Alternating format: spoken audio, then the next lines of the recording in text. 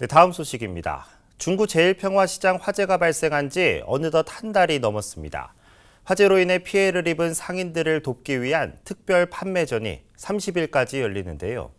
많은 시민들이 행사장을 찾아 상인들의 위로가 되어주고 있습니다. 임세혁 기자입니다. 광장에 시장이 들어섰습니다. 줄줄이 늘어선 임시 매장 사이로 시민들이 발품을 팔아가며 물건을 고르기에 여념이 없습니다. 화재로 피해를 입은 상인들을 돕고 좋은 물건도 싸게 살 수 있다는 소식에 많은 인파가 행사장에 몰렸습니다. 돕기를 한다는 소문을 듣고 예 옷도 이쁜 거 있으면 사기 위해서 왔습니다.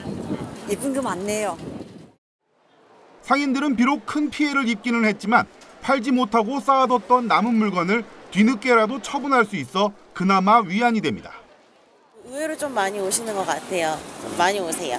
어우, 도움 많이 되죠. 그래도 많이들 와주시고 하시니까 예, 도움은 많이 되고 있어요. 이번 특별 판매전에선 제일평화시장 소속 점포 400곳이 참여해 의류 등을 저렴한 가격에 선보였습니다. 행사장에는 박원순 서울시장도 방문해 피해 상인들을 격려하고 올해 크리스마스쯤 시민들이 즐길 수 있는 요소를 추가해 다시 한번 판매전을 열 것을 주문했습니다.